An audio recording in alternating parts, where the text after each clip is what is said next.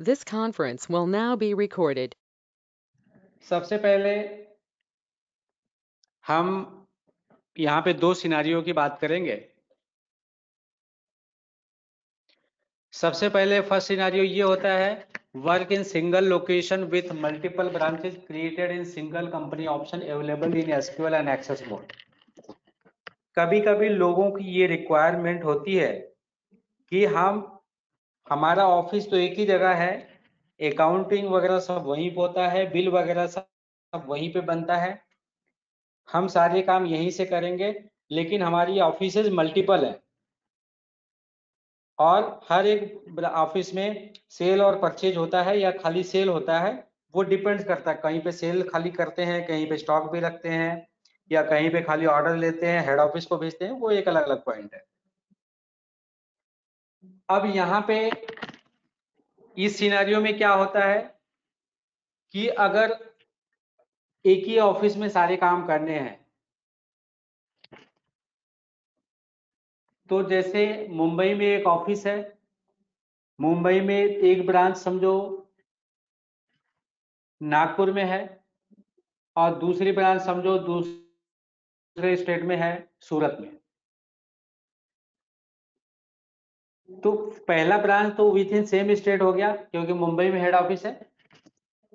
दूसरा जो ब्रांच है, वो सूरत में है, वो डिफरेंट स्टेट में हो गया। उस पर सेम पॉइंट पे दूसरी जीएसटी नंबर है।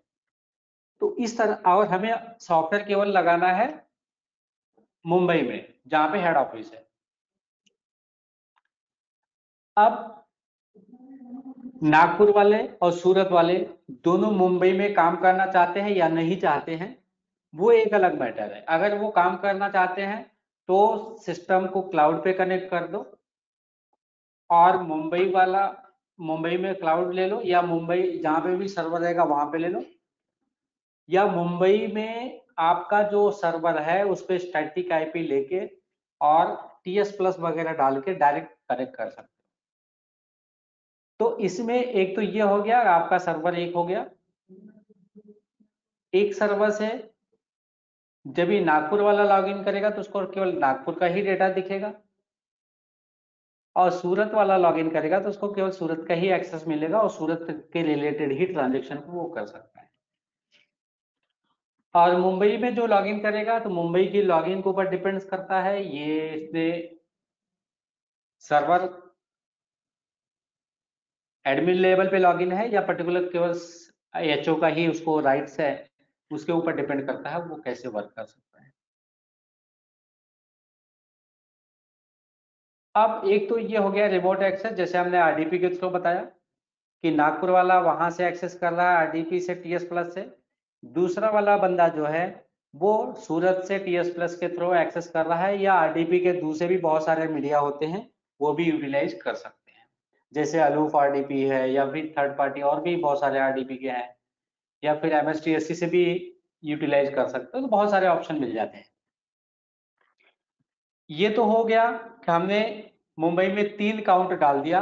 एक काउंट नागपुर में यूज़ हो गया एक न, एक काउंट आपका सूरत में यूज़ हो गया और एक काउंट सर्वर पे यूज़ हो गया। तीन लोग एक साथ में काम कर पाएँगे। दूसरा ये होता है कि हमें आरडीपी अगर नहीं कनेक्ट करना है तो क्या है हमें आरडीपी के लाइसेंस नहीं लगते हैं।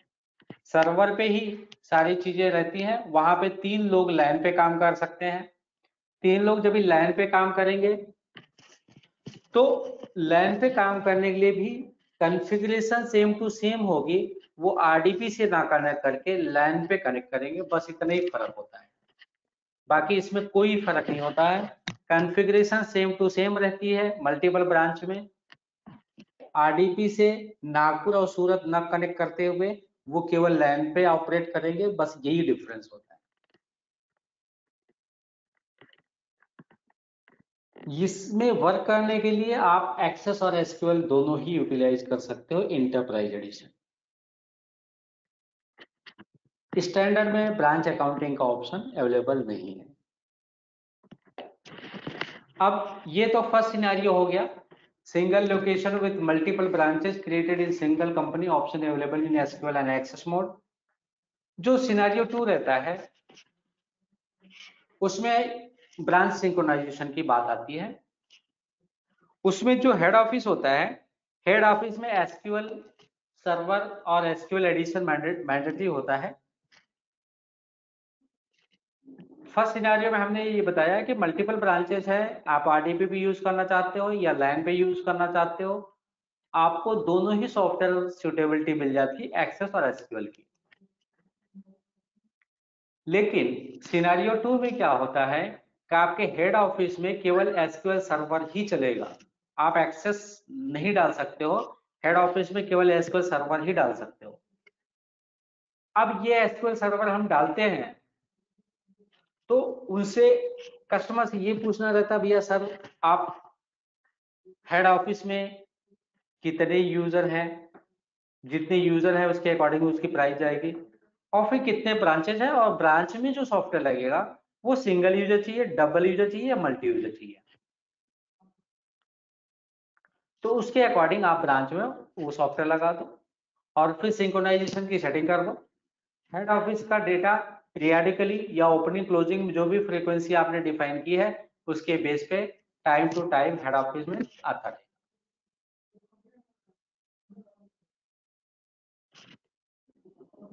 अब head office branch office data synchronization करते हैं। तो कभी कभी ये भी सिनारियो होता है कि हमारा एक ही ब्रांच ऑफ़िस है और एक ही, एक हेड ऑफ़िस है। तो हम ब्रांच ऑफ़िस से अगर ओपन करें तो मुझे हेड ऑफ़िस का भी दिख जाए। और हेड ऑफ़िस पे लॉगिन करें तो ब्रांच ऑफ़िस का भी डेटा दिख जाए। तो ये सिनारियो भी होता है। तो उस केस में क्या करना पड़ता है कि सारे डेटा को सारे लोकेशन पे भेजना पड़ता है। तो इस तरह से वर्किंग कर सकते हैं। अब जैसे हमने यहाँ पे डाला है work in multiple location with busy with the option of synchronization HO required to create a company as mentioned in scenario 1 in SQL edition. जैसे सिनारियो वन में हमने क्रिएट किया है, उसी तरह से रहेगा बट एसक्यूएल एडिशन में रहेगा। In edition you need to assign voucher and master synchronization tagging in which we need to set voucher creation and modification from HO और बीओ तो ये सारी चीज़ें हम देखेंगे प्रैक्टिकली कैसे कैसे हम ये चीज़ें करेंगे। पहले हम सिनारियो वन पे डिस्कस करेंगे। सिनारियो वन पे डिस्कस करने के बाद हम फिर सिंक्रोनाइजेशन मेथड पे डिस्कस करेंगे। फिर उस पर प्रिकॉशन क्या क्या चीज़ें हैं, वो देखेंगे। और हमें कौन सी चीज़ किस तरह से करना चाहिए, वो सारी चीज़ें हम समझेंगे। अब हम आते हैं नेक्स्ट पॉइंट पे सिनारियो वन के एग्ज़ाम्पल पे।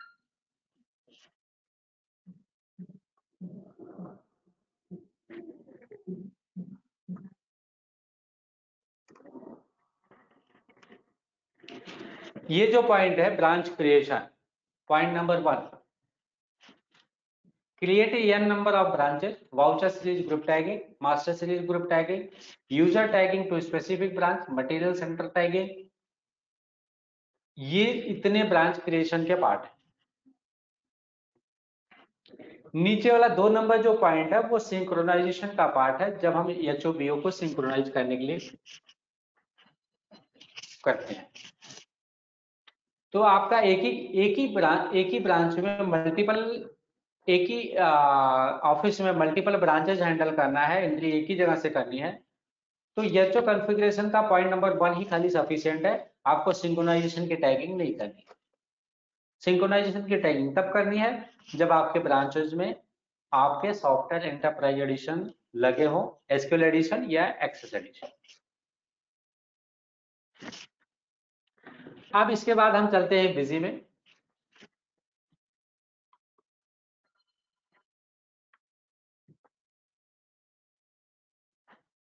ये बिज़ी सेट सर्वर इंफॉर्मेशन अब यहाँ पे सेट सर्वा इंफॉर्मेशन है तो इसका मतलब ये आपका लोकल आईपी तो नहीं है, ये बाहर का है। तो हम इसकी लोकल आईपी पता करेंगे लोकल आईपी क्या है? लोकल आईपी पे फिर कैसे कॉन्फ़िगर करते हैं, वो भी मैं बता देता हूँ। हम यहाँ पे गए। हमने यहाँ पे डाला एसक्यूएल सर्च किया।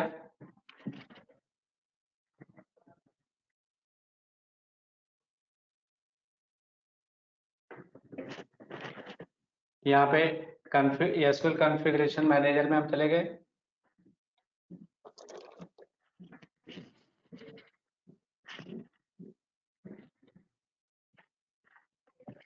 एसक्यूएल कॉन्फ़िगरेशन मैनेजर में हमने ये वाला ले लिया।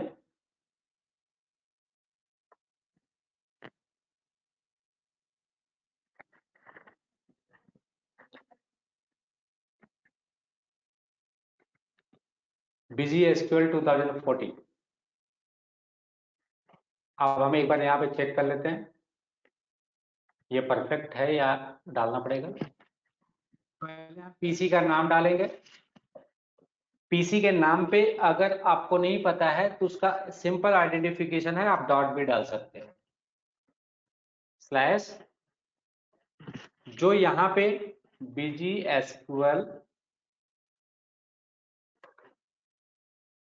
एसक्यूएल 2014 इतना डाल के हम एक बार चेक कर लेंगे।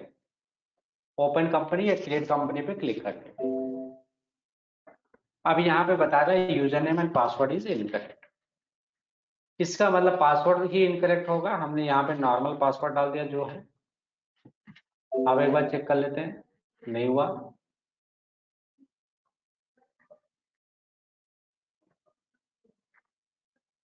तो हम एक बार मैंने स्टूडियो कर ओपन करके देख लेते हैं क्या पासवर्ड है, नहीं तो उसको रीसेट भी कर कर लेते हैं।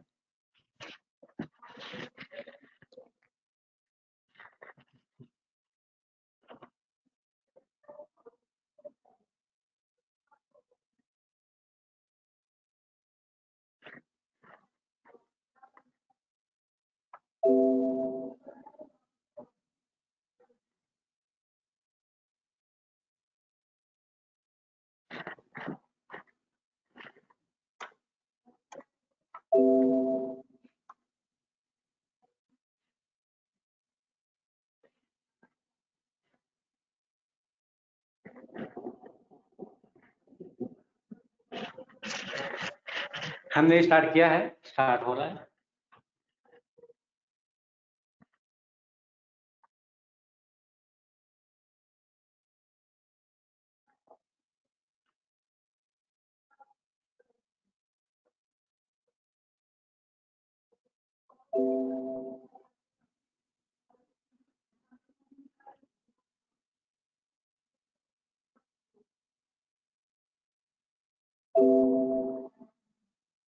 एक को हम बंद कर देते हैं यहाँ से, पहले।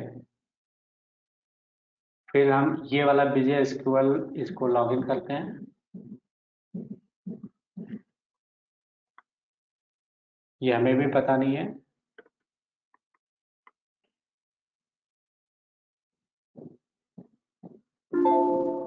हम इसका पासवर्ड ही चेंज कर देते हैं। वो इधर रहेगा।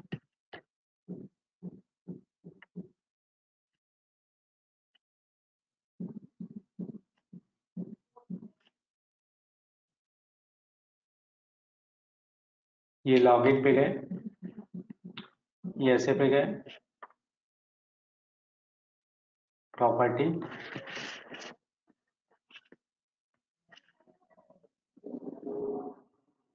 और यहाँ पे हमने पासवर्ड चेंज कर दिया।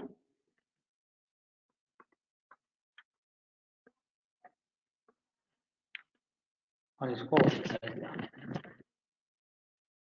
अभी एक बार हम बिज़ी में चेक कर लेते हैं। ये वर्क कर रहा है कि नहीं कर रहा है?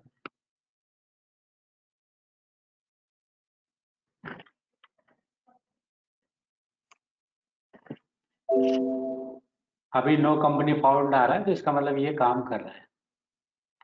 अभी हम इसको बंद कर देते हैं। क्रिएट कंपनी पे क्लिक करते हैं यहाँ पे। और यहाँ पे डालते हैं।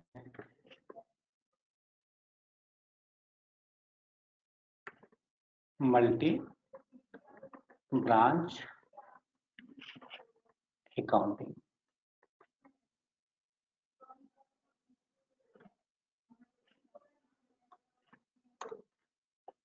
ये हमने इसको सेव कर लिया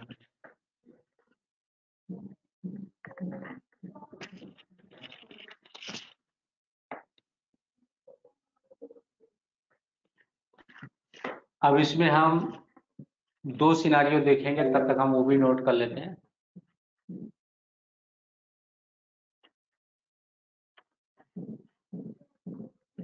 H O and B O required all data एक सिनारियो हम ये देखेंगे, जो लोगों को ज़रूरत पड़ती है। दूसरा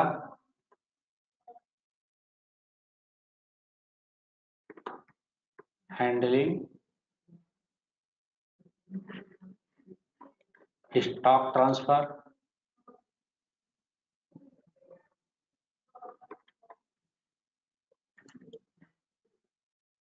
in multi branch multi branch के केस में स्टॉक ट्रांसफ़र कैसे कैसे हैंडल करेंगे।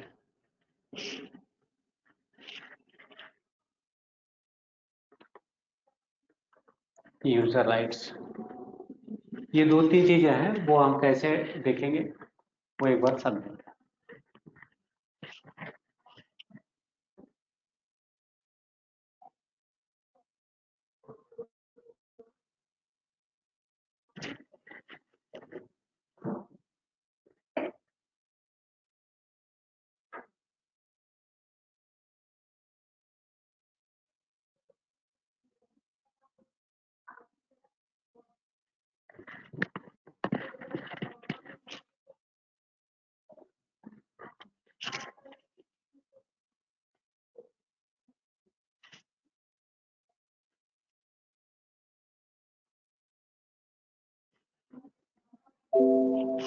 ये कंपनी क्रिएट हो गई है। यहाँ पे हमने यूज़र नेम और पासवर्ड सेव कर दिया। अब एक ऑप्शन ये होता है कि हम इसमें ब्रांचेस क्रिएट करें। तो हम दो ब्रांचेस क्रिएट करते हैं, एक नागपुर के लिए और दूसरा जो ब्रांच क्रिएट करेंगे वो सूरत के लिए that is belongs to different state जैसे हेड ऑफ़िस की कॉन्फ़िगरेशन में हम यहाँ पे जीएसटी नंबर डालते हैं। ये जीएसटी नंबर समझो आपका है A B C D E one two three four F है। और इसको हमने सेव कर दिया। ये तो पैन कार्ड नंबर होगा जीएसटी नंबर भी डाल देता हूँ।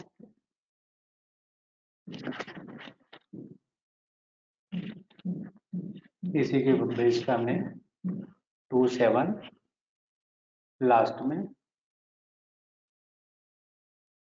वन जेड आर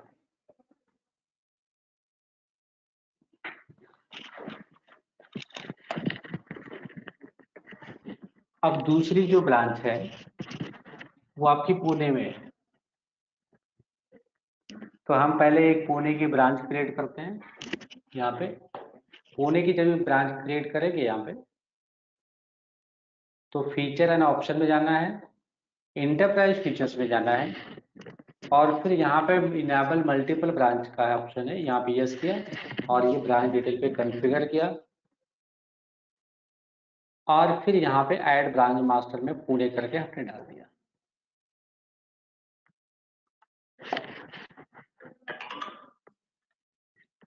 सारे ऑप्शन को यस कर लेंगे। Voucher series group create user और create MC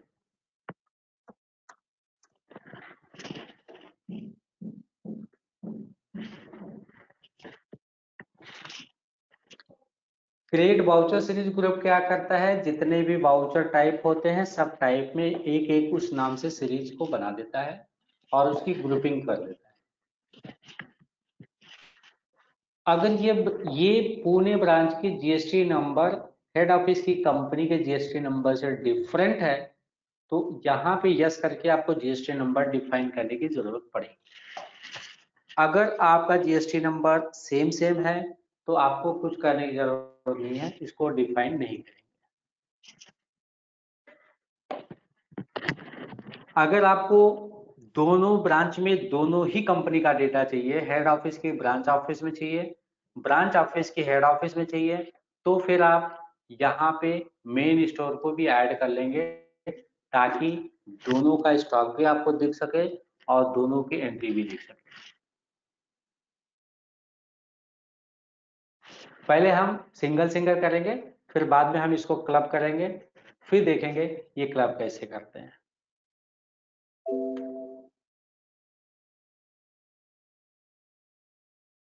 ये से हो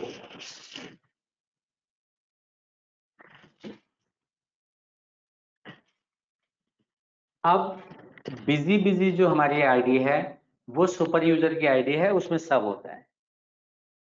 लेकिन हमें अगर कोई ये बोलता है कि हमें एक ऐसी आईडी बना के दे दो, जिसमें खाली हेड ऑफ़िस का ही डेटा दिखे ब्रांच ऑफ़िस नहीं दिखना चाहिए तो फिर आप क्या करेंगे? तो उसके लिए आप क्या करेंगे? आप वाउचर कॉन्फ़िगरेशन में जाएँगे। वाउचर कॉन्फ़िगरेशन में जाने के बाद यहाँ पे सब में मेन और पुणे लिखेगा। यहाँ पे आपको करना है वाउचर सीरीज़ ग्रुप मैनेजमेंट और यहाँ पे एड वाउचर सीरीज़ ग्रुप जाना है।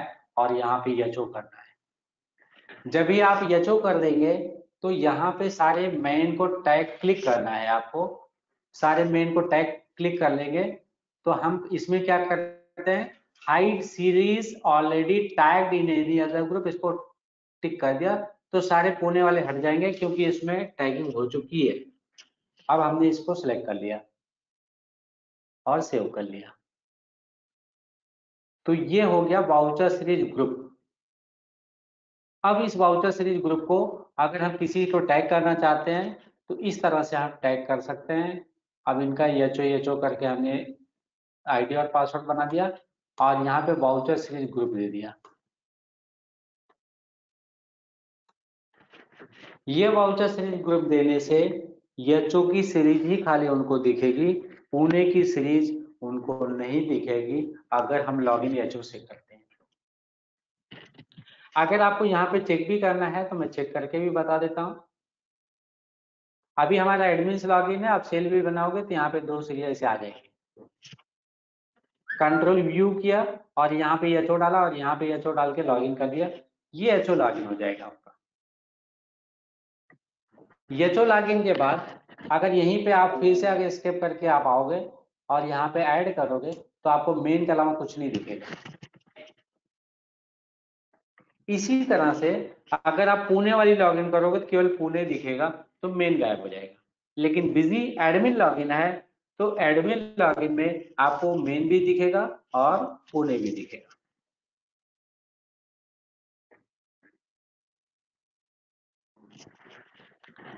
अब जब भी हम यहाँ पे सेटिंग करते हैं तो मैं एक एक चीज़ भी यहाँ पे एक्सप्लेन भी कर देता हूँ, वो किस किस चीज़ में क्या क्या चीज़ें काम में आती है। सुपर यूज़र्स लॉगिन करना पड़ेगा कॉन्फ़िगरेशन चेंज करने के लिए।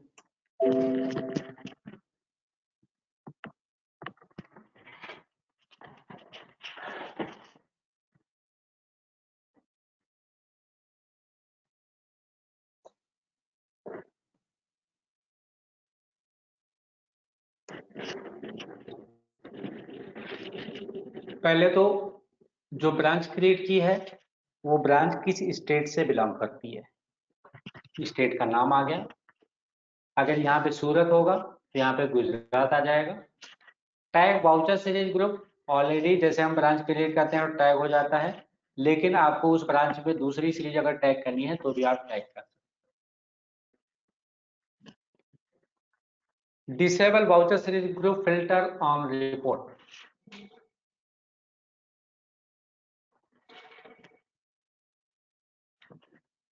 अगर आपको वाउचर सीरीज़ ग्रुप का फ़िल्टर चाहिए रिपोर्ट में रिपोर्ट से अगर डिसेबल करना है तो यहाँ पे यस कर दोगे तो वो डिसेबल हो जाएगा।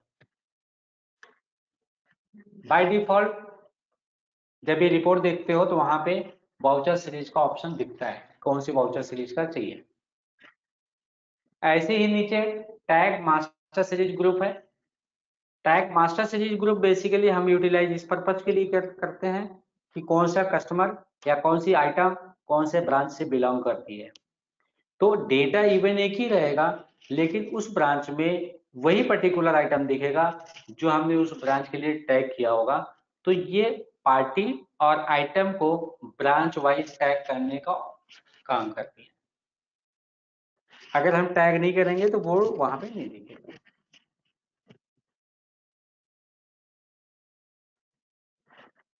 इसमें इतना ही है। अभी हमने इसको सेव कर दिया।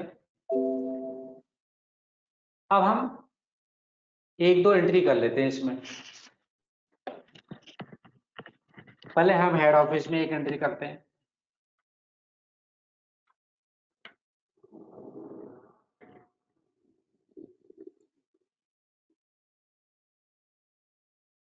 यहाँ पे एक कस्टमर बनाते हैं।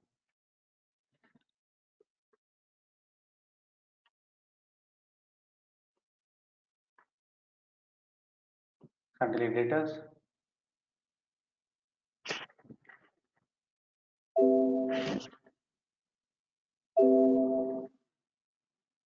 main store.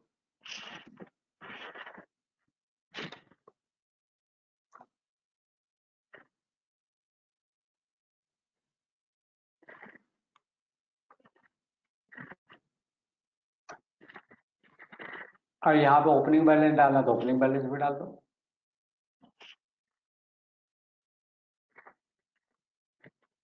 आपका ये स्टॉक कहाँ पे पड़ा हुआ है? हमने डाल आठ सौ इधर पड़ा हुआ है और पुणे में दो सौ पड़ा हुआ है। स्टॉक की वैल्यू भी हम सौ रुपए के हिसाब से ले लेते हैं।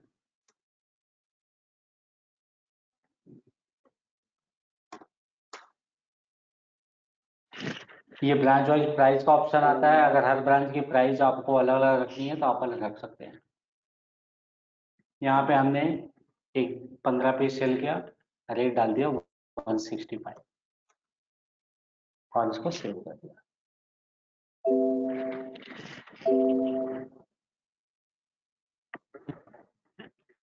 ऐसे ही हम ब्रांच ऑफ़िस में भी कर सकते हैं। हम इसी एंट्री को मॉडिफाई कर लेते हैं एक बार और इसको कॉपी पेस्ट करके उसमें डाल देते हैं। स्पीड को थोड़ा बढ़ाने के लिए। डेट हमने दो तारीख का डाल दिया। क्वांटिटी में हमने थोड़ा कम ज़्यादा कर लिया। रेट भी थोड़ा प्लस माइनस कर दिया।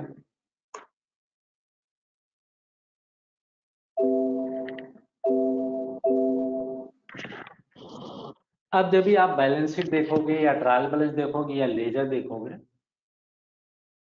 अभी पार्टी का दाम एक ही है। अभी यहाँ पे आपको पूछेगा, कौन से ब्रांच का चाहिए? ऑल चाहिए तो यहाँ पे ऑल आ जाएगा। पुणे का चाहिए तो केवल यहाँ पे पुणे का आएगा।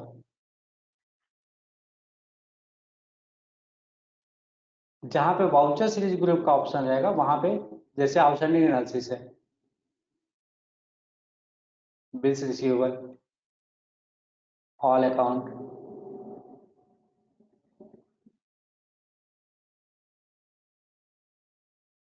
अब यहाँ पे जब जाओगे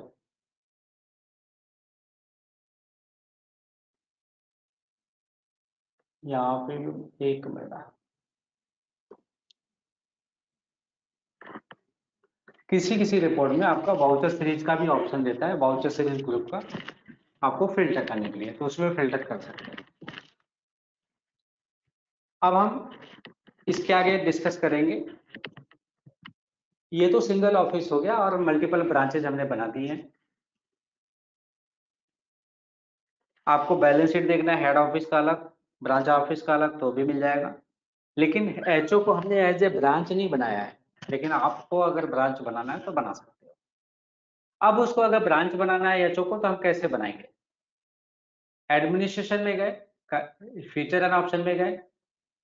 यहाँ पे ब्रांच डिटेल में हमने एक ब्रांच और क्रिएट कर दिया एच कर हमने एच क्रिएट किया। यहाँ पे बाउंसर सीरीज़ ग्रुप हमने क्रिएट नहीं करना है, ये भी नहीं करना है मटेरियल सेंटर भी नहीं करना है। इसको यस कर दिया। जो चीज़ें यहाँ पे है, वो चीज़ें हमने यहाँ पे टैग कर दी। यूज़र भी हमने बनाया था।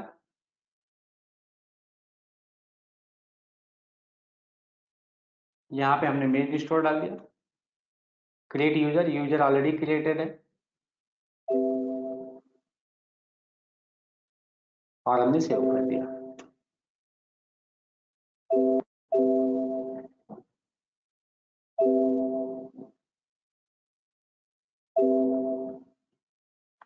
अब ये सेव करने के बाद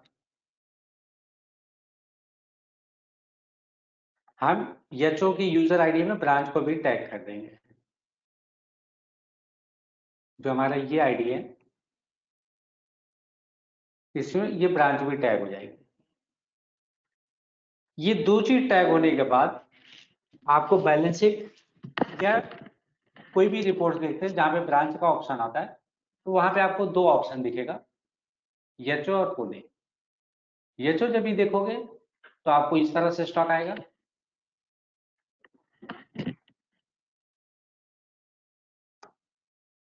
इसमें आपकी बिल एक ही बिल आएगी। बिल नंबर एक। दोनों में एक ही नंबर बिल लेगा अगर यहाँ पे आप सेलेक्ट करोगे पुणे की तो पुणे के हिसाब से वो डिटेल आ जाएगा।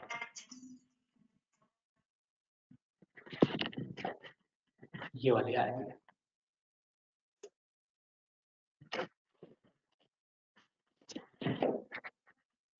अब ये रिपोर्ट तो हो गई।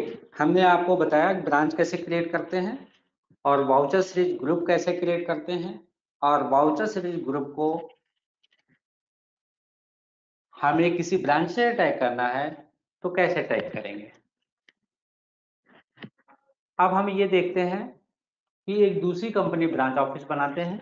वो ब्रांच ऑफ़िस में डेटा का सिंक्रोनाइजेशन कैसे करते हैं? तो हमारी ये दूसरी कंपनी एक क्रिएट कर लेते हैं यहाँ पे।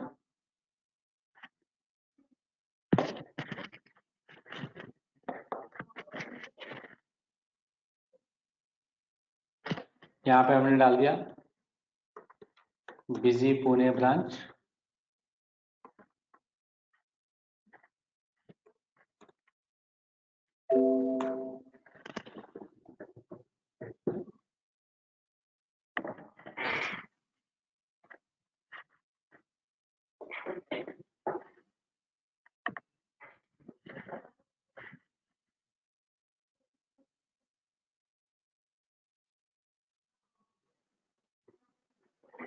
ये कंपनी क्रिएट करने के बाद हमें इसके बाद आपको वाउचर टैगिंग करनी है कौन कौन से वाउचर आपको सिंक करवाने हैं।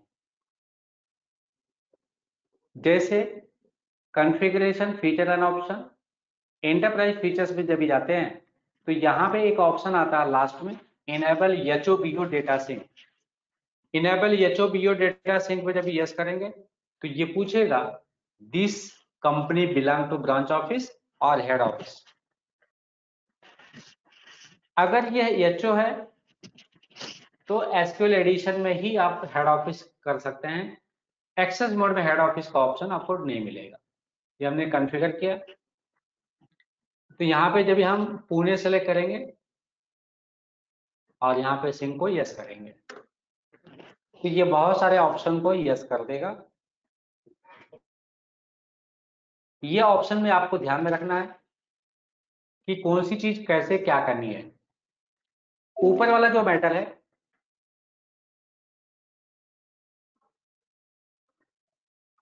ये ब्रांच क्रिएट हो गई। हम फिर से हेड ऑफ़िस में चलते हैं।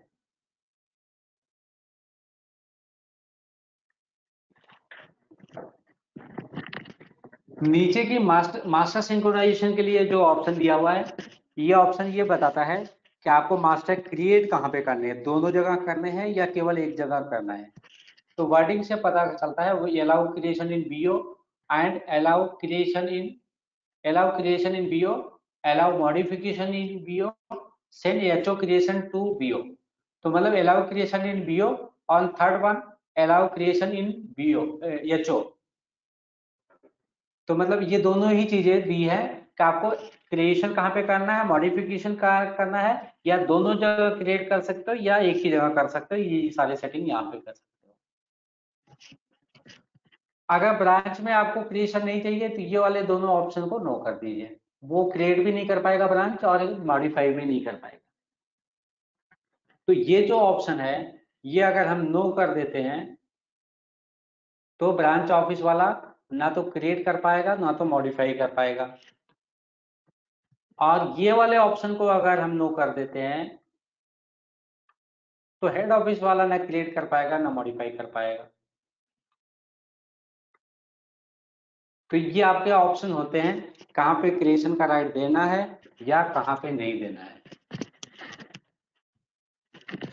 इसके नीचे जो ऑप्शन है update account balance in HO update account balance item update account balance account opening balance in BO मतलब ओपनिंग बैलेंस जिधर का राइट हो, उसके अपोजिट साइड में आपको अपडेट करवाने रहते हैं। जैसे update account balance in HO करना है तो इसका मतलब बीयू ब्रांच ऑफ़िस से हेड ऑफ़िस में जाएगा। अभी जैसे हमने आइटम के मास्टर में हज़ार रुपीस का स्टॉक डाला हुआ था। मेन स्टोर में 800 पड़े थे, पुणे में 200 पड़े हुए थे। वो स्टॉक अगर हमें ब्रांच ऑफ़िस में अपडेट करवाना है तो हमें क्या करना पड़ेगा? Update item opening balance in BO ये वाला ऑप्शन को टिक करना पड़ेगा। हम ये मान के चलते हैं हेड ऑफ़िस की एंट्री बराबर है। कॉस्ट सेंटर अगर नहीं यूज़ कर रहे हैं तो इसको अनटिक कर दें। और बैंक को अगर यूज़ कर रहे हैं तो आप टिक कर सकते हैं, नहीं तो अनटिक कर सकते हैं। बाकी ये जो एंट्री है, यहाँ पे भी सेम मैटर है। एलाउ क्रिएशन इन बीओ अगर ब्रांच ऑफ़िस में एंट्री होने वाली है तो यहाँ पे आप टिक कर यस करके रखें। और नहीं करना है तो यहाँ पे नो कर दें इसका, ये जो स्क्रीन होती है, इसका मतलब ये होता है कि आपका क्रिएशन ब्रांच ऑफ़िस में होने वाला है। और अगर ये नो करके आप इसको यस कर दोगे इसका मतलब ये हो गया इसका क्रिएशन हेड ऑफ़िस में होने वाला है, ये बाउचर का। अभी तो हमने अलाउ क्रिएशन इन बीओ रखा है तो हम एक बार देखते हैं ये कैसे काम करता है, ये हमने सेव कर दिया।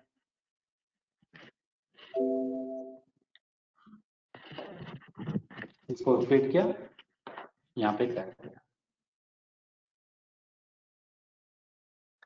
अब हम चलते हैं ब्रांच ऑफ़िस में। एसक्यूएल सर्वर को, डेटा को, ब्रांच ऑफ़िस को, हेड ऑफ़िस से लिंक करने के लिए क्या करते हैं? सबसे पहले तो आपको पोर्ट ओपन होना चाहिए, पोर्ट फॉरवर्डेड होना चाहिए, वन फोर डबल थ्री का। वो चीज़ें हम अभी यहाँ पे नहीं बताएँगे। हम ये बताएँगे उस पर कन्फिगर पोर्ट अगर फॉरवर्ड हो गया तो उसकी कन्फिग्रेशन किस तरह से करें। ये हमारा एक्सेस का डेटा है ब्रांच ऑफ़िस सबसे लास्ट ऑप्शन है enable H O D BO data sync और यहाँ पे ब्रांच ऑफ़िस क्लिक करके यहाँ पे कन्फिगर पे क्लिक करें। नीचे आएँगे तो स्पेसिफाई सर्वर इंफॉर्मेशन बिलो वो चीज़ हम फ़ाइल से भी कर लेंगे, यहाँ से ब्राउज करके भी हम यूटिलाइज कर सकते हैं। जब हम इस तरह से यूटिलाइज करते हैं तो हमें डीएलएल फ़ाइल चाहिए रहता है, जो सिक्योरिटी फ़ाइल से जनरेट करते हैं, वो फ़ाइल लगता है। तो अभी हम यहाँ पे मैनुअली डाल देते हैं फिर आप सर्वर नेम था RKV BG SQL 2014 user ID by default जो रहता है, और पासवर्ड था busy at one two three company code आपको वही डालना है जो यहाँ पे कंपनी कोड बना हुआ है। अगर हम कंपनी कोड देखें तो यहाँ पे कंपनी ज़ीरो ज़ीरो वन है। तो आपको ये बिज़ी टाइप नहीं करना है, केवल कम ट्रिपल ज़ीरो वन टाइप करना है। तो हमने यहाँ पे डाल दिया कम ज़ीरो ज़ीरो वन। यहाँ पे आपको डालना है ब्रांच का नाम। एज इट इज़ जो ब्रांच आपकी क्रिएट हुई है, वो ब्रांच का नाम डालना है। यहाँ पे डालना है यूज़र आईडी ये यूज़र आईडी जो ब्रांच में क्रिएट करके आपने असाइन किया है, वो डालना है। अगर आप मैनुअल ऑटोमेटिक क्रिएट करते हैं, दोनों आईडी सेम टू सेम होती है। अब हमने रीड हेड ऑफ़िस कॉन्फ़िगरेशन पे यहाँ पे क्लिक करना है।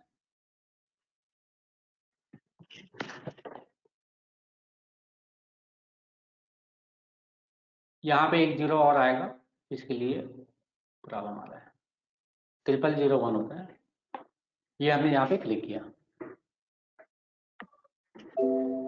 जैसे हमने क्लिक किया तो ये आ गया। Do you want to start the process of specify head office material centre वगैरह वगैरह? तो ये आप क्लिक कर लेंगे और इस पर क्लिक कर लेंगे।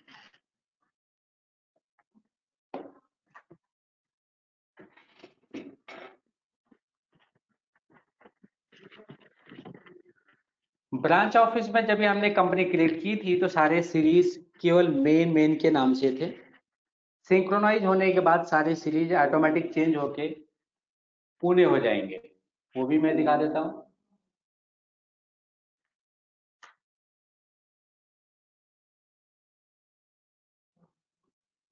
ये हो गया हैंड शेक हैंड शेक मतलब हमने हेड ऑफ़िस और ब्रांच ऑफ़िस को कनेक्ट किया। यहाँ पे अगर आप सीरीज़ देखोगे तो पहले मेन था, लेकिन अभी सब में पुणे पुणे ही दिखेगा। क्योंकि सेटिंग में वो सबको ऑटोमेटिक रिनेम कर लिया। अब अगर हमें हेड ऑफ़िस का डेटा यहाँ पे लेना है तो हमें क्या करना पड़ेगा? हेड ऑफ़िस में जो एंट्री की है, वो एक बार सेंड करना पड़ेगा। हमने यहाँ पे डाल दिया data export import bulk updation to H O एक मिनट। ये ब्रांच अकाउंट है, हम हेड ऑफ़िस में जाएँगे।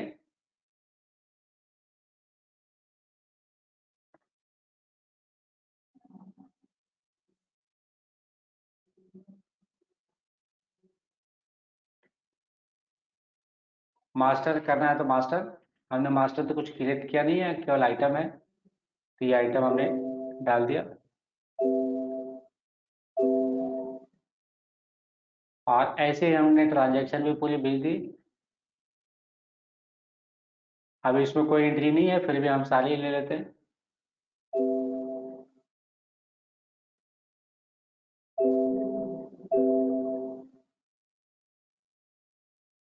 अब हम ब्रांच ऑफ़िस में सिंक करके देखेंगे ये सिंक ने सिंक में क्या क्या चीज़ें आ रही हैं। तो हम यहाँ पे डेटा इंपोर्ट एक्सपोर्ट में गए एक्सचेंज डेटा टू एच पे क्लिक किया। अब यहाँ पे आपको एक आइटम मास्टर और एक सेल की एंट्री दिख रही है। Receive data from H O पर क्लिक किया। जो वहाँ पे डेटा एंट्री है, वो एंट्री यहाँ पे आ जानी चाहिए। एक बार पुणे की एंट्री हमने यहाँ पे सिंक कर ली। आप पुणे में हेड ऑफ़िस में कोई एंट्री नहीं कर सकता, क्योंकि उसकी क्रिएशन हमने डिफाइन कर दी, उसकी एंट्री ब्रांच ऑफ़िस में ही होगी। अगर आप हेड ऑफ़िस में पुणे की एंट्री करना चाहेंगे तो आप नहीं कर सकते क्योंकि वो रिस्ट्रिक्शन लग जाता है कि एंट्री कहाँ पे होने वाली है। अभी जैसे हमने यहाँ पे लॉगिन किया अब जैसे हम पुणे का एंट्री मारेंगे तो बताएगा voucher in this series will be added by branch office only.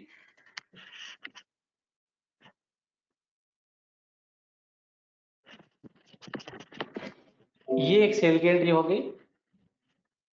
अब हम एक परचेज के भी एंट्री कर देते हैं यहाँ पे। परचेज में भी हम दोनों एंट्री कर देते हैं एक बार। आइटम वाइज यहाँ पे हमने सप्लायर वन डाल दिया।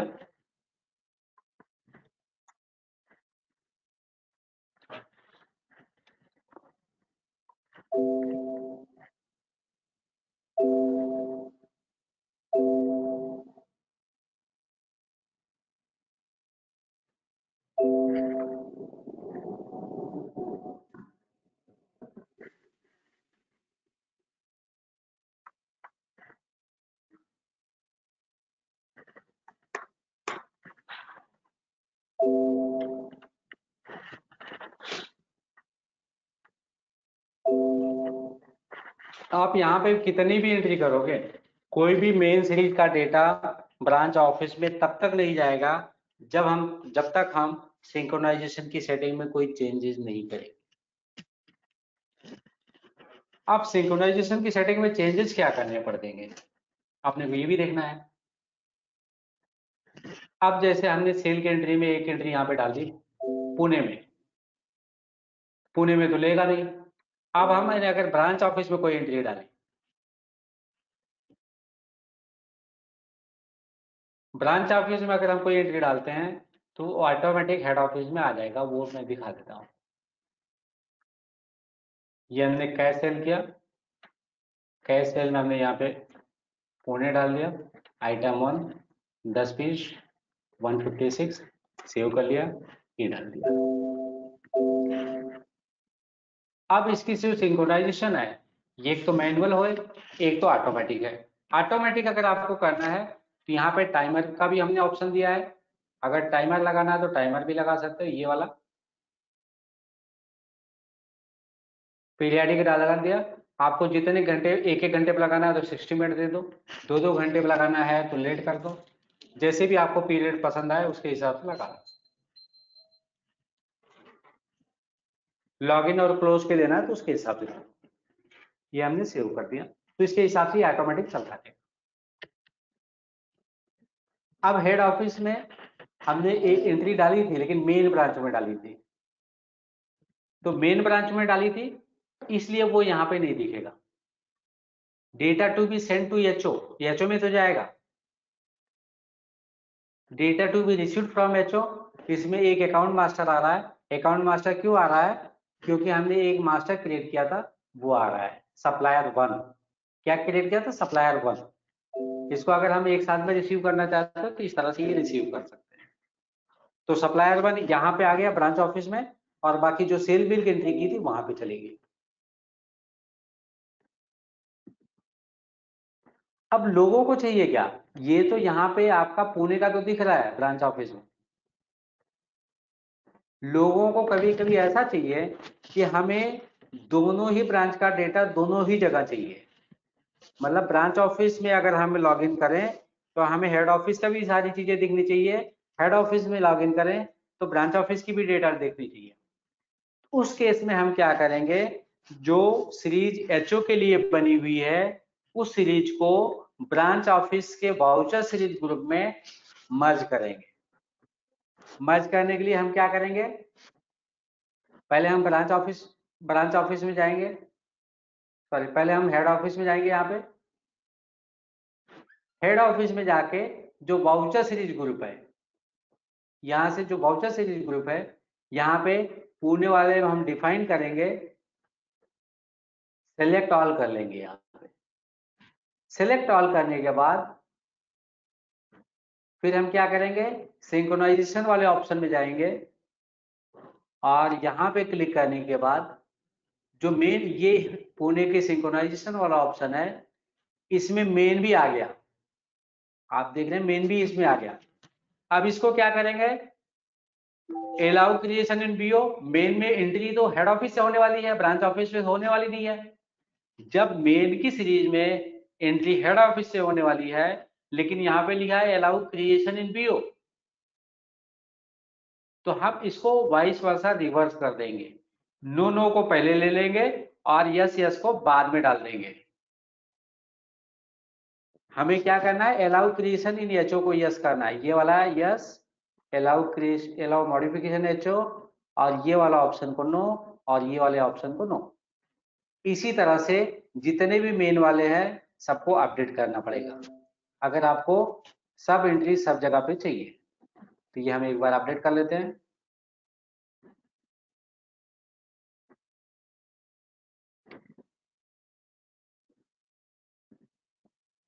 हमने कॉपी पेस्ट यूज़ कर रहे हैं ताकि थोड़ा जल्दी हो जाए।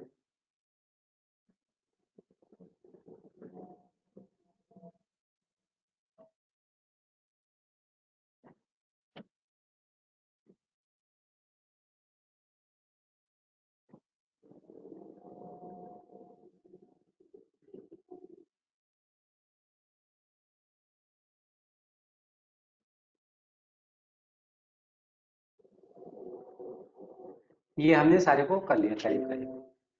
और इसको ऐसे कर लिया। और यहाँ पे सेव कर लिया।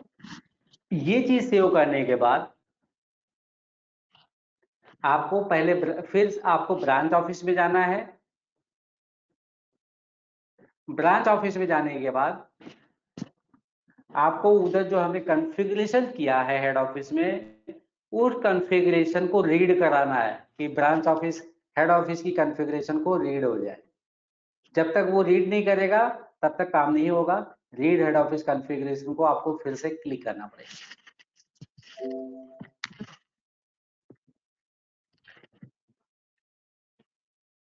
यहाँ पे आपकी मेन वाली सीरीज़ आपकी फिर से क्रिएट हो जाएगी।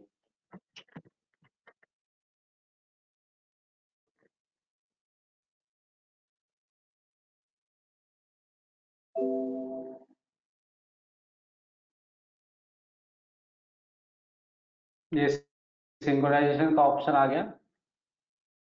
मैं इसको क्विट कर दिया, कुछ नहीं है। ये बैकेंड में चल रहा है।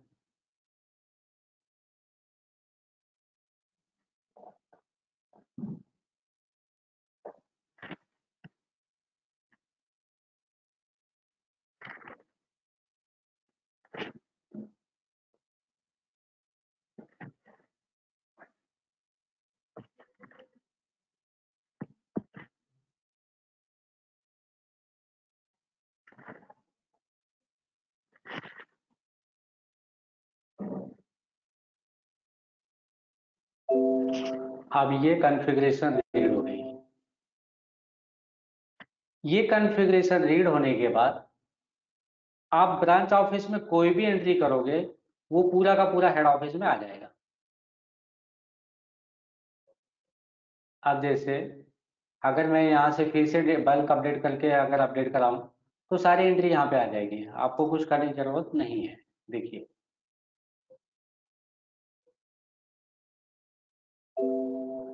पहले केवल पुणे वाली भी आती थी, अभी मेन सीरीज़ वाली भी सारी एंट्री आपकी यहाँ पे पहुँच जाएँगी। अब हम ब्रांच ऑफ़िस में आ जाते हैं।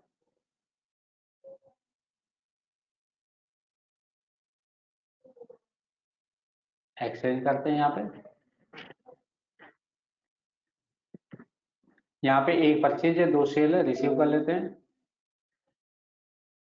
अब आप चाहे एंट्री मेन में करो, चाहे पुणे में करो, दोनों डेटा दोनों ही जगह मिलेगा लेजर भी सेम सेम मिलेगा।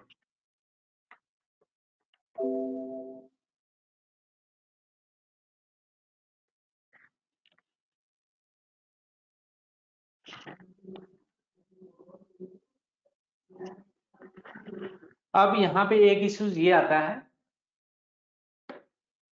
हमने मेन स्टोर को टैग नहीं किया है। तो यहाँ पे एक बार देख लेते हैं सेल की एंट्री आई है, नहीं आई है, वो भी देख लेते हैं। मेन में जो एंट्री हमने की है, वो यहाँ पे आ गई है। तो इसका मतलब हमने हेड ऑफ़िस में मेन स्टोर को टैग करके रखा है, इसके लिए आगे। अदरवाइज़ ये एंट्री नहीं आती थी। और ये जो टैगिंग होती है, वो ये जब हम ब्रांच क्रिएट करते हैं तो ब्रांच क्रिएशन के टाइम पे पुणे और मेन स्टोर दोनों ही डालना पड़ता है, अगर हमें डेटा भेजना है यहाँ पे।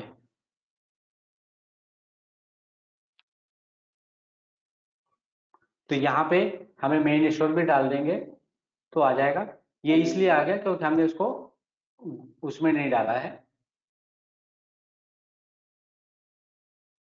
अभी एक बार हम ये वाउचर्स देख लेते हैं कितने हैं।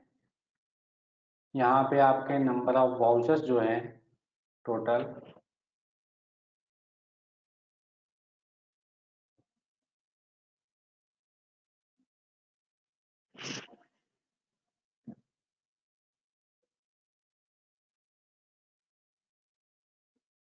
और यहाँ पे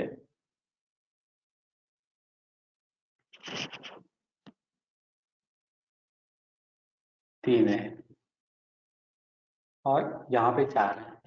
तो एक बाउचर अभी भी यहाँ पे नहीं आया। है अब हम देख लेते हैं वो कौन सा बाउचर है।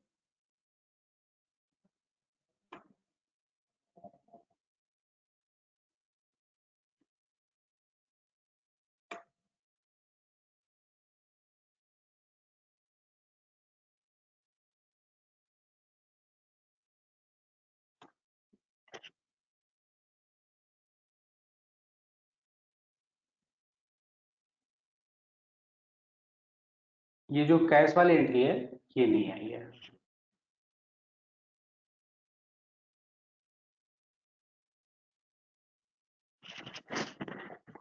कैश एंट्री हेड ऑफ़िस में नहीं गई है।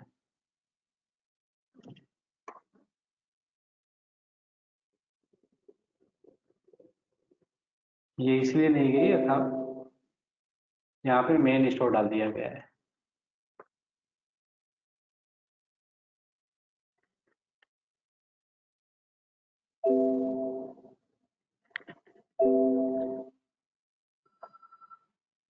एक बार हम फिर से सिंक करके देखते हैं।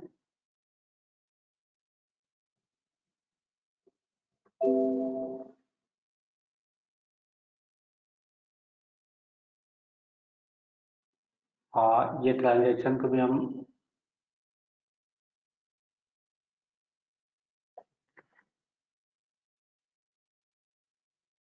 यहाँ पे पुणे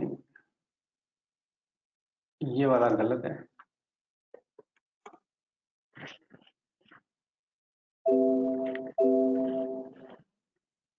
एक बार हम एक्सचेंज करके डेटा देखते हैं फिर से। कभी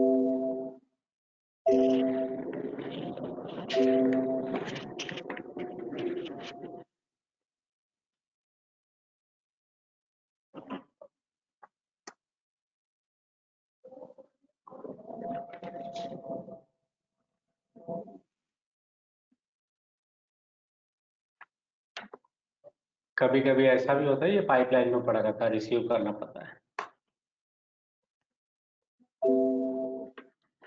अभी हम देख लेते हैं।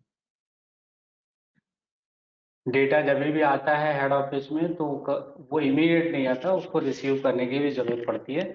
नहीं तो एक फ्रीक्वेंसी के टाइम पे वो ऑटोमेटिक सिंक होता रहता है। अब ये एंट्री आ गई टोटल चार एंट्री है। ब्रांच ऑफ़िस में भी सेम एंट्री है, इसमें भी सेम एंट्री है। तो आप ब्रांच ऑफ़िस में एंट्री करो या हेड ऑफ़िस में एंट्री करो, कहीं से भी करो, दोनों जगह सिंक होने के बाद सेम टू सेम डेटा मिलने वाला है। मतलब ये कॉन्फ़िगरेशन उस तरीके से दोनों जगह सेम सेम डेटा मिलेगा। क्योंकि हमने इसको उसके अकॉर्डिंग ही टैग करके रखा है। अब कभी कभी इसी तरह से तीन ब्रांच होती है, चार ब्रांच होती है, सबको ये चाहिए रहेगा, सब ब्रांच में डेटा मिलना चाहिए तो उसी के अकॉर्डिंग उसको भी आप कर सकते आपको क्या करना है? क्रिएशन इन बीओ को नो करना है। अब इसमें हमने कॉन्फ़िगरेशन में चेंजेस क्या किया? वो भी चाहिए तो एक बार फिर से आप देख लो।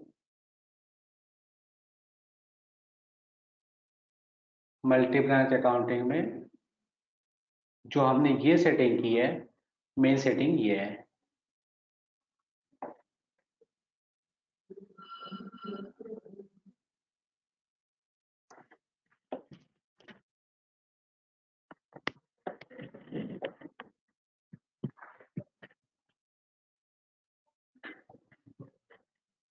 अब इसमें कभी कभी ऐसा भी होता है कि हम स्टॉक ट्रांसफ़र भी यूटिलाइज करते हैं। एक ब्रांच से दूसरे ब्रांच में स्टॉक ट्रांसफ़र करना है। हर एक पॉइंट का एक बेनिफिट होता है और हर एक पॉइंट का एक ड्रॉबैक होता है। कभी कभी लोग ये बोलते हैं कि दोनों जगह का, दो हमारा एक ब्रांच ऑफ़िस है हेड ऑफ़िस है तो हेड ऑफ़िस में जो डेटा है वो ब्रांच ऑफ़िस को देखना चाहिए। लेकिन सेम पर्सन का ये भी रिक्वायरमेंट होता है किस ब्रांच ऑफ़िस में सबको नहीं देखना चाहिए। सर्टेन लोगों को ही देखना चाहिए जिसको हमने वो राइट्स दिया है।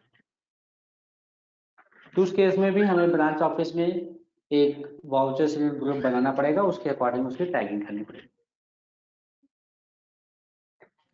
अब हम इसमें एक ब्रांच और बनाते हैं, सूरत हेड ऑफ़िस में।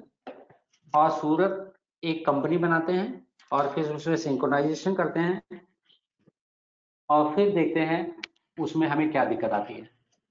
जैसे हमने प्रेजेंटेशन में भी अभी बताया था ये मास्टर सिंक्रोनाइजेशन वाउचर सिंक्रोनाइजेशन की कॉन्फ़िगरेशन तो हमने देख ली है। सर्वर क्रेडेंशियल कैसे डालना है? Reading HO configuration enable auto data sync exchange data to HO ये सारी चीज़ें हमने ऑलमोस्ट देख ली हैं।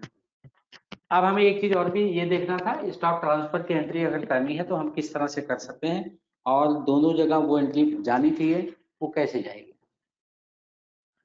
लेकिन हमें हर एक डेटा को वहाँ पे नहीं भेजना है इन केस अगर हेड ऑफ़िस में कोई हेड ऑफ़िस से ब्रांच ऑफ़िस या branch office to branch office transfer होता है तो उस केस में वाउचर सीरीज़ ग्रुप में हमें स्टॉक ट्रांसफ़र के सारे वाउचर सीरीज़ को टिक करना पड़ता है और सारे ही मटेरियल सेंटर को अलाउ करना पड़ता है। दो पॉइंट होते हैं। एक तो अगर हमें स्टॉक ट्रांसफ़र किसी भी ब्रांच से किसी ब्रांच में डालना है तो स्टॉक ट्रांसफ़र के वाउचर को हर एक वाउचर सीरीज़ ग्रुप में टिक करना पड़ेगा टैग करना पड़ेगा और मटेरियल सेंटर भी हमें हर वाउचर हर एक ब्रांच में टैग करना पड़ेगा। तो फिर ये प्रॉब्लम आपका सॉल्व हो जाता है। अभी तो हमने ऑल डेटा ऑल ब्रांच करके दे, देख लिया कि पुणे के पुणे के ब्रांच में हेड ऑफ़िस का भी डेटा दिखेगा हेड ऑफ़िस के डेटा में पुणे का भी दिखेगा। तो यहाँ पे तो स्टॉक ट्रांसफ़र जैसा कोई मैटर आता भी है तो ऑलमोस्ट पहले से वो ट्रांसफ़र हो जाएगा।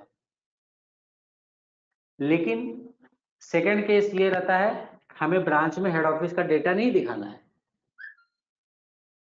उस केस में हमें ब्रांच ऑफ़िस में जो स्टॉक ट्रांसफ़र होके जा रहा है, वो ऑटोमेटिक रिफ्लेक्ट हो जाना चाहिए। वो एंट्री करने के लिए आपको क्या करना पड़ेगा, वो अभी हम समझेंगे। अब हम हेड ऑफ़िस में जाते हैं। एक ब्रांच क्रिएट करते हैं।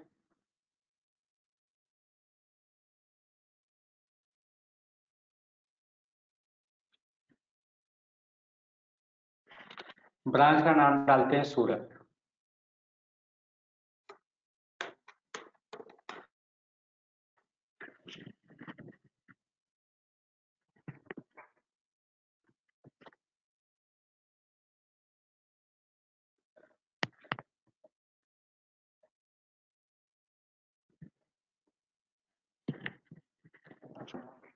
अब ये स्टेट डिफरेंट हो गया। उसके लिए हमें क्या करना है? यहाँ पे गुजरात डालना है। और यहाँ पे उसकी जीएसटी डिटेल जो भी रहेगी वो कन्फिगर करनी है। गुजरात का जो भी रहेगा, मुझे ध्यान में नहीं है। इस तरह से आपको कन्फिगर कर लेनी है और सेव कर लेनी है।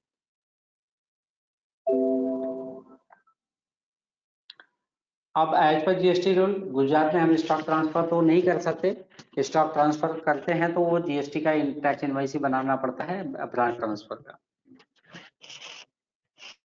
तो जो सिनेरियो मैं बता रहा हूँ, वो सिनेरियो समझने के लिए एज पर जीएसटी रूल वो सूरत ब्रांच काम में नहीं आएगा। हम एक लोकल सिंगल स्टेट में एक ब्रांच और बनाते हैं तो उससे आपको ये चीज़ें मैं समझाता हूँ, जहाँ पे एक्चुअल स्टॉक ट्रांसफ़र की एंट्री करते हैं फिजिकली स्टॉक ट्रांसफ़र नो से हमें यहाँ पे गए। नागपुर की जगह पे हम एक ब्रांच और भी बनाते हैं नासिक करके।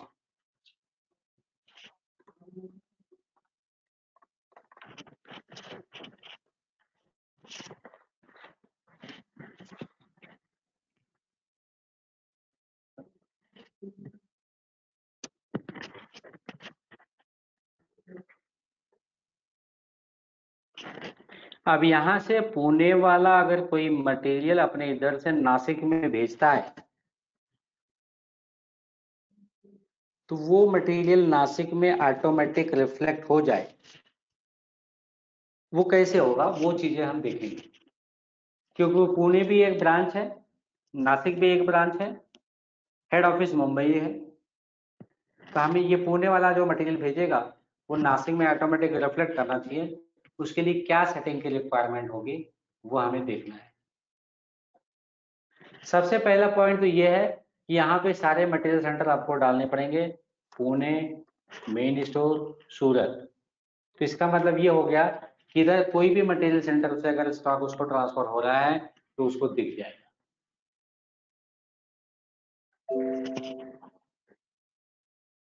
दूसरी सेटिंग ऐसे पुणे में भी हमें करना पड़ेगा सूरत एंड नासिक। ये हमने सेव कर लिया तीसरी चीज़ ये है कि पुणे वाले को भी नासिक, पुणे वाले को भी स्टॉक ट्रांसफ़र की एंट्री वहाँ पे दिखनी चाहिए। तो उसके लिए हम क्या करेंगे? यहाँ पे बाउचर सीरीज़ ग्रुप में जाएँगे और पुणे में जाएँगे।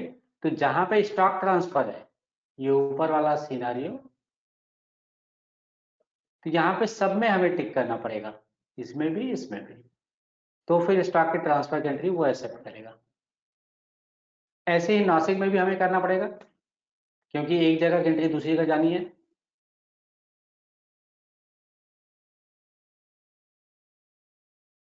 मेन ये ये। सॉरी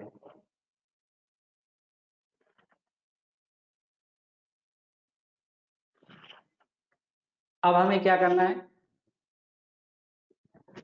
यहाँ पे जो हम ब्रांच कॉन्फ़िगर करते हैं, वहाँ पे अलाउ डिस अलाउ करना पड़ेगा।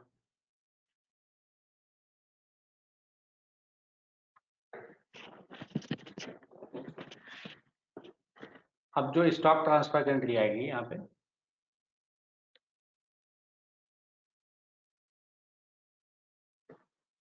अब ये पुणे है। पुणे में ये हो गया।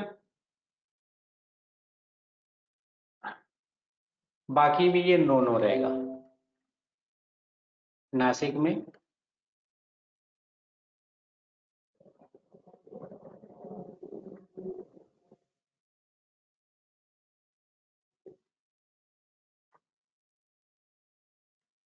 ये उल्टा हो गया। इसको हमने सेव कर दिया।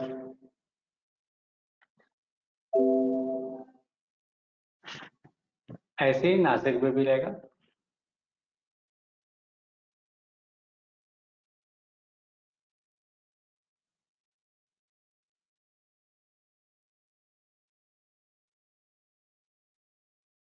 केवल हमें इसमें स्टॉक ट्रांसफ़र पे ही काम करना है।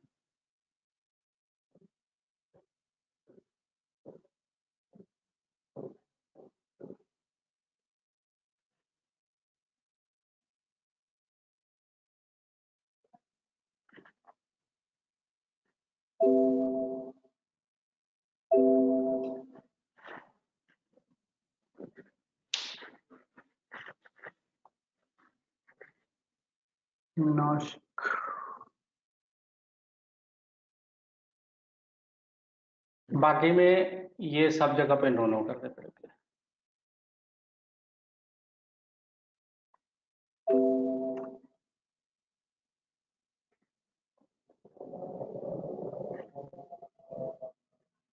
Thank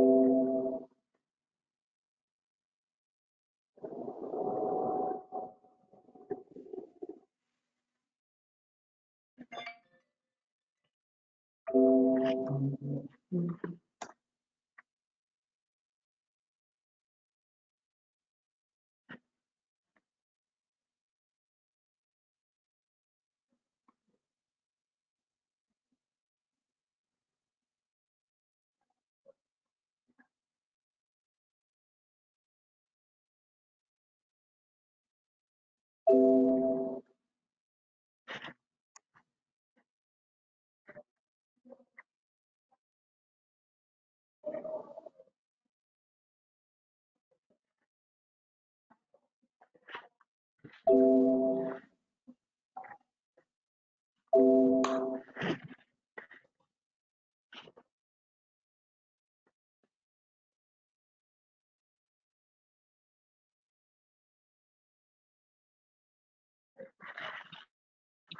अब हम एक ब्रांच क्रिएट करते हैं और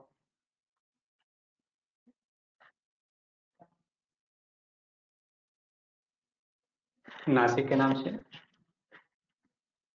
और तब तक हम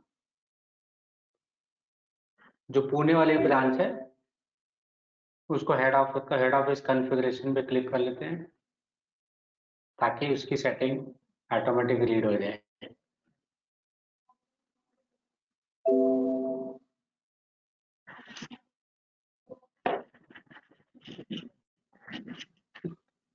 फिर पुणे से हम एक एक्स्ट्रा ट्रांसफ़र करेंगे नासिक को और फिर चेक करेंगे, वो एंट्री नासिक पे जा रही है या नहीं जा रही।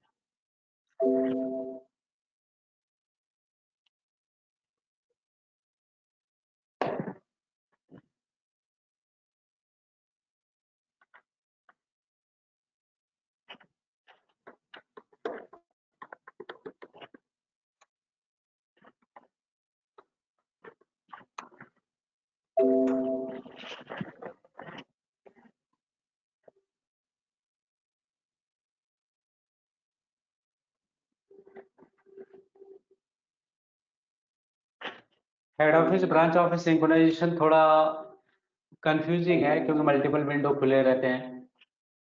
लेकिन हो जाता है। कोशिश करने पे सारी चीज़ें हो जाती है।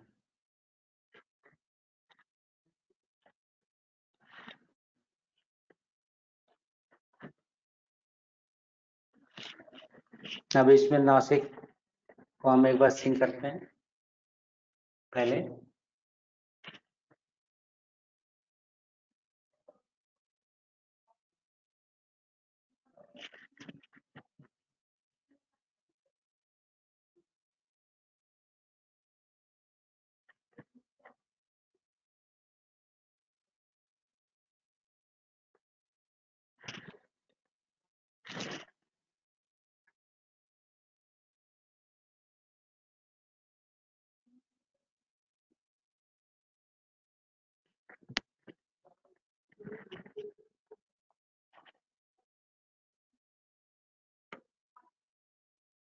ये कंपनी यहाँ पे क्रिएट हो गई।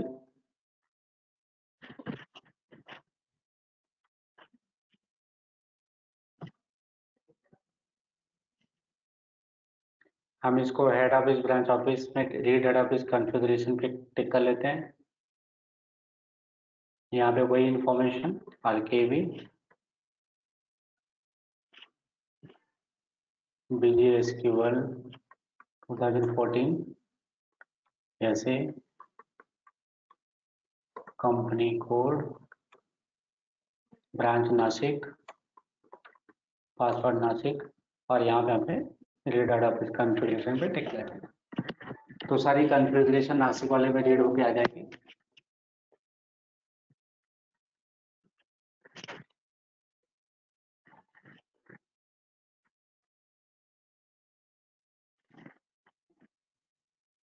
ये होने के बाद फिर हम पुणे के ब्रांच में जाएँगे।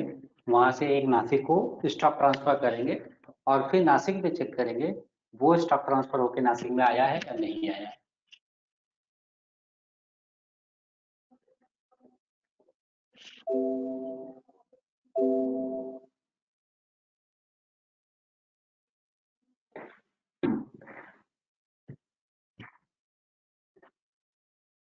अब हम पुणे वाले ब्रांच में चलते हैं। ये हमारी पुणे की ब्रांच है। यहाँ पे हम ट्रांजेक्शन में गए। यहाँ पे एक स्टॉक ट्रांसफ़र की एंट्री डालते हैं।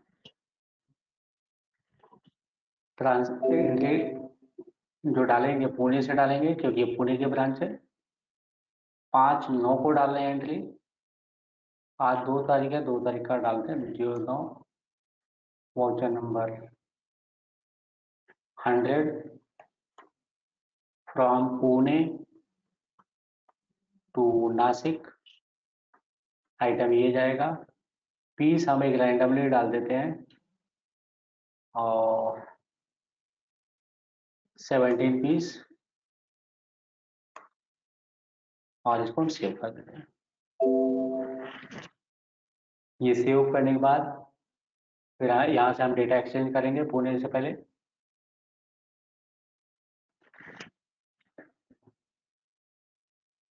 स्टॉक ट्रांसफ़र की एंट्री हो गई यहाँ पे चला गया।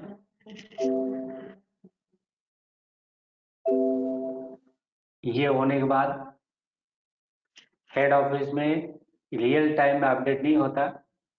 वहाँ पे रिसीव करना पड़ता है या तो वेट करना पड़ता है। तो इसके लिए हम यहाँ पे रिसीव कर लेंगे डेटा को। यहाँ पे आएँगे और यहाँ पे रिसीव डेटा फ्रॉम बीओ करके ऑप्शन आएगा। इसको हम रिसीव कर लेंगे। ये रिसीव करने के बाद फिर हम यहाँ से नासिक के ब्रांच में जाएँगे और यहाँ पे देखेंगे कि हम head office branch office synchronization पे क्लिक करते हैं तो इसमें कोई डेटा मिलता है या नहीं मिलता है। तो हमने देख लिया, यहाँ पे स्टॉक ट्रांसफ़र की एक एंट्री आ रही है और इसको हमने क्लिक कर लिया। और डेटा रिसीव हो गया और फिर से हमने यहाँ पे चेक किया, वो एंट्री आपको स्टॉक ट्रांसफ़र में दिखेगी कि आपको पुणे से नासिक में आई हुई है। तो यहाँ पे हमने तीन तीन चीज़ों को इन्वॉल्व किया। एक हेड ऑफ़िस है, दूसरा ब्रांच ऑफ़िस है, तीसरा ब्रांच ऑफ़िस है। एक ब्रांच ऑफ़िस दूसरे ब्रांच ऑफ़िस को कोई भी मटेरियल भेज रहा है तो एक ब्रांच से दूसरे ब्रांच में डायरेक्ट अगर ट्रांसफ़र करता है तो उस ब्रांच को रिफ्लेक्ट हो जाता है। वो डेटा पहले हेड ऑफ़िस में आता है हेड ऑफ़िस में से फिर दूसरे ब्रांच में चला जाता है। इस पॉइंट पे काफ़ी लोगों को कंफ्यूजन भी रहता था कि ये चीज़ें होती हैं, नहीं होती हैं, किस तरह से होती हैं तो वो चीज़ें मैंने आज ये क्लियर की हैं। तो हम हम ये चाहते हैं कि जो हमें पता है, वो सारी चीज़ें आपको क्लियर कर दूँ। अब आज के सेशन में किसी को कोई क्वेरी है तो वन बाय वन करके पूछ सकते हैं। टाइम भी काफ़ी हो गया, छह बजने वाले हैं। किसी को कोई क्वेरी है? सर किसी को भी अगर कोई क्वेरी है तो पूछ सकते हैं।